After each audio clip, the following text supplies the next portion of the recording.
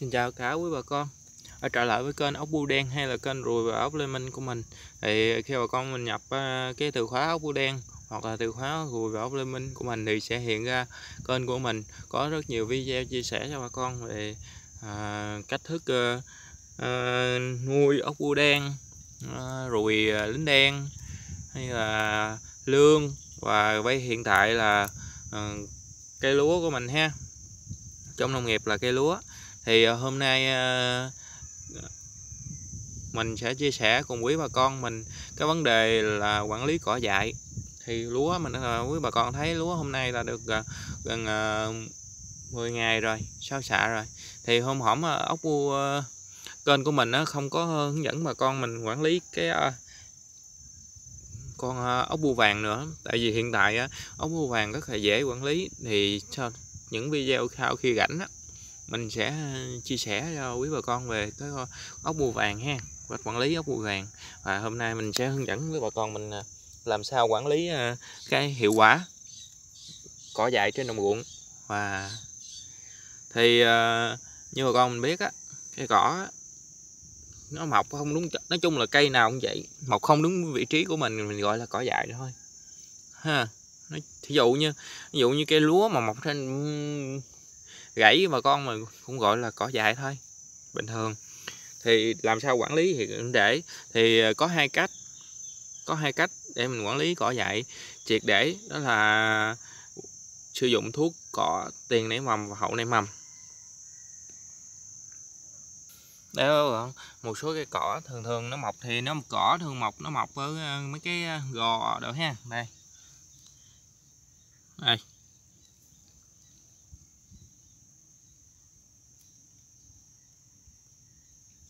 Mình sẽ zoom lên cho bà con coi. Đó. Thì cỏ này thì mình sử dụng hậu ném mầm ha.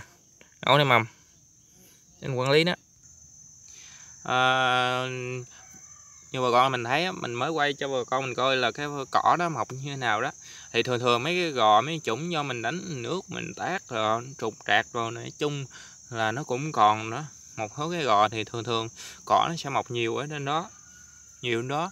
Thì ờ, nếu mà cỏ mọc nhiều mà bà con mình không xử lý triệt để á, thì nó sẽ cạnh tranh cái nguồn thức ăn của cây lúa đó, nguồn phân nguồn dinh dưỡng của cây lúa và làm cây cây lúa nó khu đó nó sẽ còi cọc. Chẳng những vậy khi mà nó lớn lên á nó sẽ trổ bông trổ bông và nó rụng bông vào mùa sau rất là nhiều thì nó sẽ ảnh hưởng dần dần dần lên ruộng lúa mình nhiều ga. Ha thì ờ, hôm nay để mình quản lý triệt để cái vấn đề đó thì mình sẽ chia sẻ cho quý bà con mình thuốc cỏ là để hai cách là cách diệt mầm diệt mầm. Trước tiên là diệt mầm ha. Diệt mầm thì có hai hình thức đó là trước khi xạ và sau xạ sau xạ trước khi xạ có thể khoảng à, 3 ngày 3 ngày quý bà con mình à, à, à có thể trục chạy gì đó xong xuôi mình phun phun trước xạ trước xạ phun trước xạ phun trước xạ này có hai có lợi thế có một cái lợi thế rất là lớn nha là là diệt luôn lúa cỏ lúa cỏ, lúa nền lúa nền. Thì ờ, cây lúa hay cây cỏ nó chưa, nó có mầm rồi. Nó mầm nhưng mà là nó mới vừa nhú mầm thì mình đã phun thuốc diệt mầm rồi, diệt mầm, làm cho cái cây rễ của nó, cái cây cỏ nó không có phát triển được, không phát triển được. Và cây cây lúa, cây hạt lúa mình mới lú ra đó, lúa cỏ mới lú ra nó cũng không có phát triển được cái bộ rễ và từ từ đó từ đó nó còi cọc và nó chết. Nó chết, nó không có phát triển được nữa. Đó. thì à, đó là ba ngày trước khi xạ.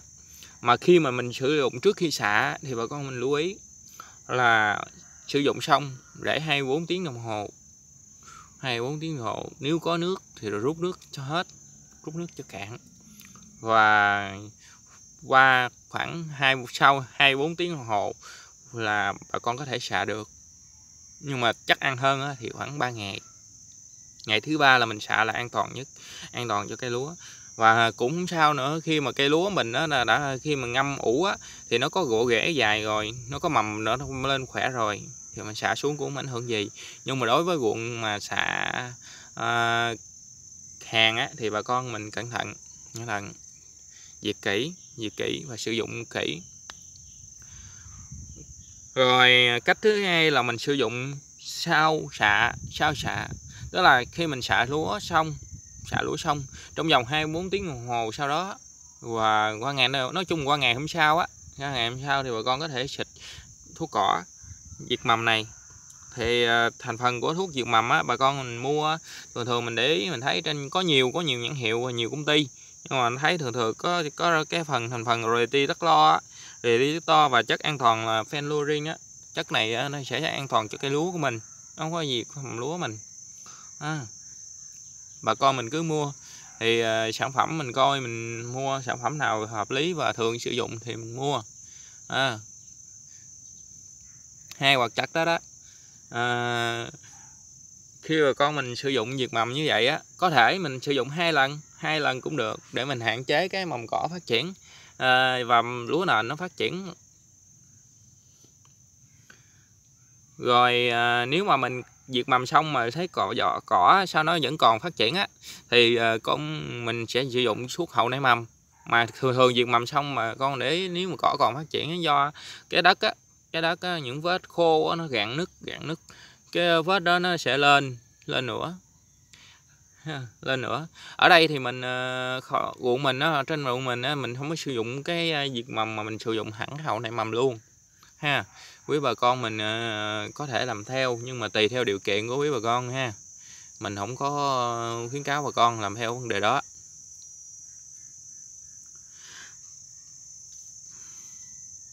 Thì cái hậu nảy mầm á, hậu nảy mầm thì sau khi xạ với bà con khoảng chừng 7 ngày 7 ngày.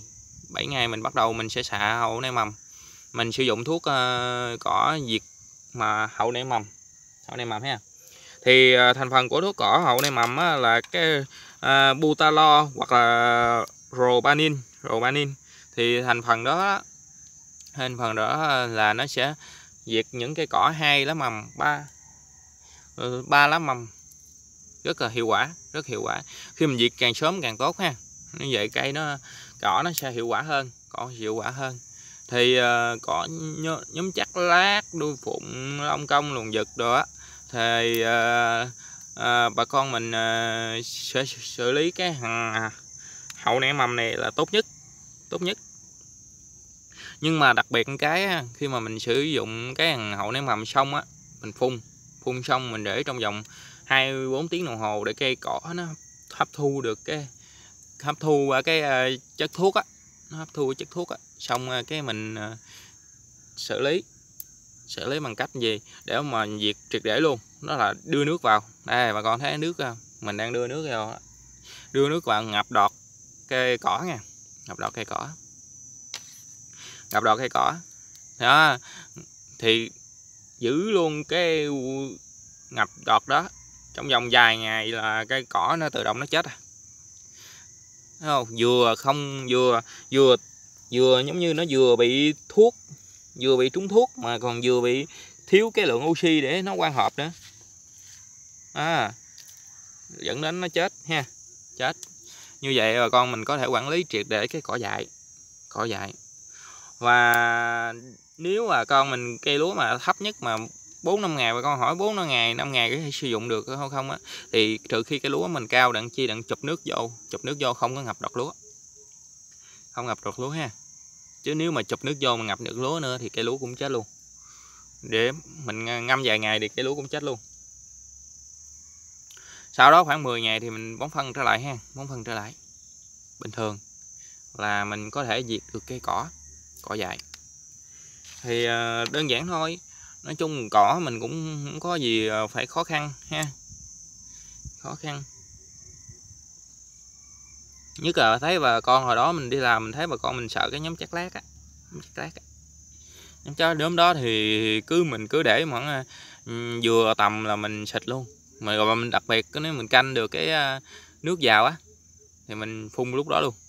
Rất là hiệu quả. Phun xong cái cho nước vô luôn, khỏi bơm, khỏi tác gì hết trời có mưa thì càng tốt nữa. Nhưng mà được phun xong 24 tiếng đồng hồ mưa thì ngon nghe. Chứ phun vừa xong liếc bình lông lên mưa ầm ầm ầm xuống là thua luôn nghe mấy bà con. Thì uh, không biết ở đây là khu vực của mình xả rồi nhưng mà không biết quý chỗ quý bà con xả chưa? Hay là bà con mình có cách xử lý nào hay hơn không? Thì uh, có thể uh, comment bên dưới ha để mình à, chia sẻ cùng nhau kinh nghiệm. Thì mình à, đi hồi đó giờ là mình à, thấy cái vấn đề nó vậy. Vấn đề gì xử lý thuốc cỏ và mình trực tiếp mình xử lý cũng vậy luôn. Nên mình chia sẻ với mấy bà con vậy thôi. Nhớ là thuốc cỏ luôn luôn đi kèm với nước. Cái điều kiện không thuốc cỏ mà hậu nảy mầm mà bà con mình phun xong mà để khô gáo á, xong cũng như không à mà không có nước vô là thua luôn. Thua luôn phải có nước nha cố gắng giữ được được giữ ẩm là cũng được nhưng mà có nước chụp đọt ngập luôn á là rất là tốt đó. À, ha lúa mình lên nay là vậy à. thì uh, kính chúc quý bà con ờ, mình ờ, hôm nay mình chỉ chia sẻ vậy thôi nên kính chúc quý bà con mình một vụ mùa mới thành công và thắng lợi nếu mà con mình thấy hay thì mình có thể đăng ký và chia sẻ ha, chia sẻ. Cảm ơn quý cô con.